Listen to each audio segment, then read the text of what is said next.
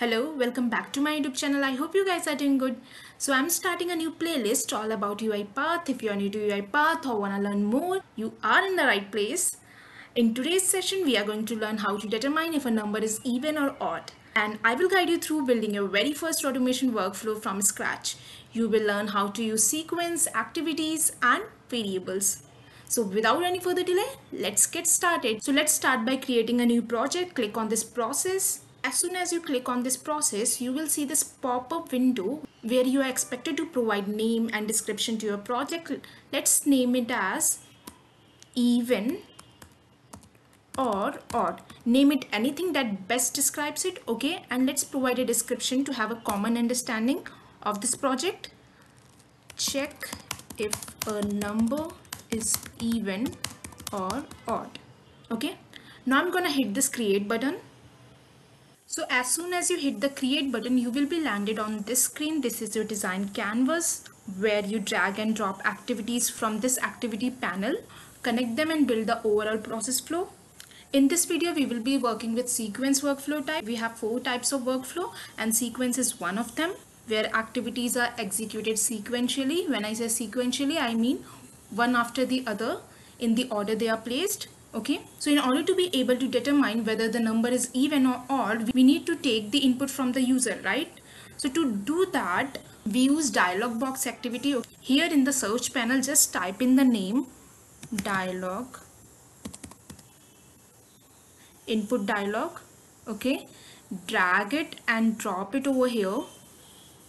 So we have dragged and dropped the input dialog onto a design canvas which will allow user to enter some value during the execution of this workflow.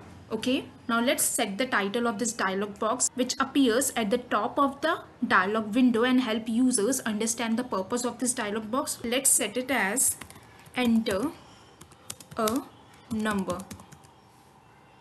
Remember when it's a string, it must be inside double quotes, okay? and then comes input label which actually instructs the user on what information they need to provide. Okay let's just name it as number. And then we have two types of input types text box and multiple choice. So in our case we need a text box. So let's just keep the default. And then we have this value entered to store the value to store the input provided by the user. Okay? And we will be storing the input in a variable Alright, so now let's create a variable to store the number we want to check. Click on this variables panel at the bottom of the screen which allows you to create, modify and delete variables. You can also define variable types and scopes. Okay, let's name it as input number, input number and set its type to int 32. Int 32, there we go. Cool now just click on this again to hide this section. And here in this value entered we can just pass that variable okay? Input number. Also if you wish to rename this dialog box you can do that by just clicking on this three dots. And here we have this rename option to rename this activity okay? Now we need to add an if activity to check the number is even or odd so let's drag the activity into the workflow okay? Let me just clear my previous search. And I'm gonna type in if let me just now drag it and drop it underneath this. Cool?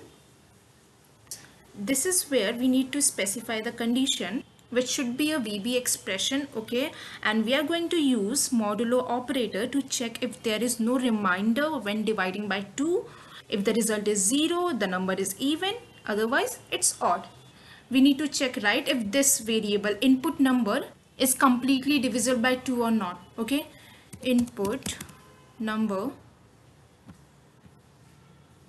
mod operator okay 2 is equal to 0 if there is no remainder left when dividing it by 2 that means it's an even number so here inside the then branch of the activity let's add a message box.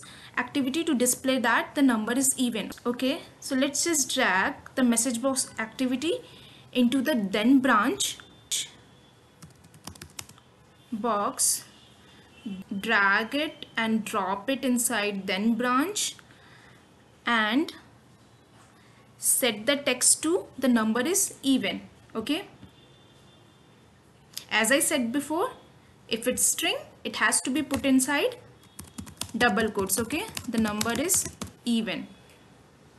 And in the else branch we will add another message box activity to indicate that the number is odd okay? I'm gonna drag it again and drop it inside else branch and set its text to the number is odd. The number is odd that's it. Your workflow should now look like this. Okay? So now let's run our project to see it in action. Over here you have to just run this file. As soon as you run your project you will see this pop-up window and here you have to provide the number you want to check okay? Let's first check 45 I'm gonna click this OK button and a message box appears and says the number is odd which is correct. 45 is an odd number okay? Now let's rerun our project and this time we will be providing some even number. I'm gonna click this OK button and this will take me back to my project. Let's again click on debug file then run file. This time let's check 42 okay and it says the number is even which is correct. 42 is an even number. So that is it. If you found this video helpful don't forget to like subscribe and hit the notification bell for more such tutorials. I'll see you guys in my next video. Cheers. Bye bye